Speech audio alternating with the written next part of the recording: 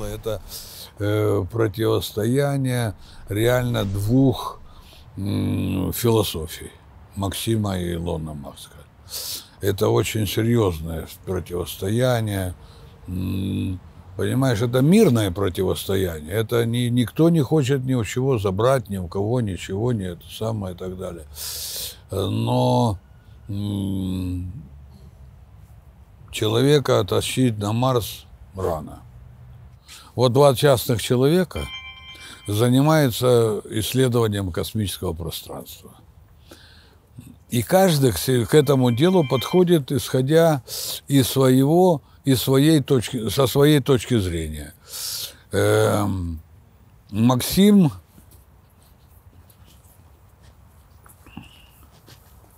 считает, что важно э, человеку преобразоваться здесь, на Земле. На Земле. Измениться, изменить свое отношение к миру, э, которое реально у него э, есть.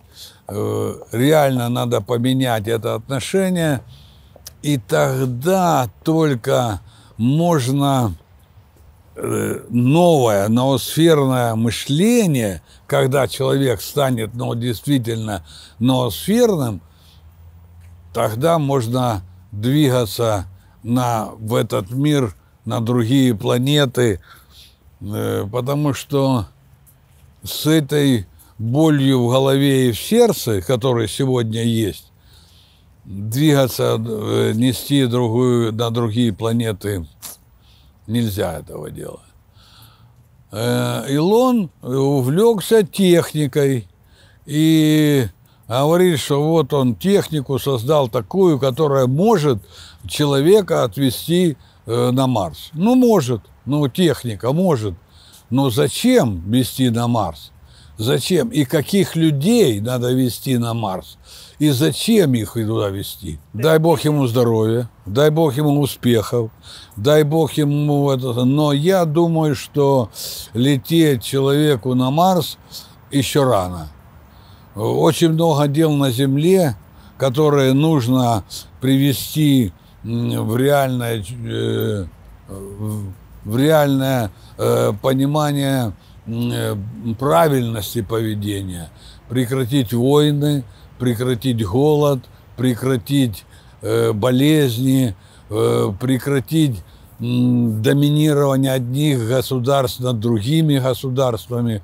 Э, то есть реально очень много на Земле дел, которые нужно сделать, прежде чем улетать э, с такой философией, которая сегодня есть у человека и у человечества, лететь на Марс. Поэтому дай Бог ему здоровья, дай Бог ему успехов, пусть он сделает то, что он хочет делать. Но э, э, Максим э, Поляков – у него все-таки другая мысль, другая мысль.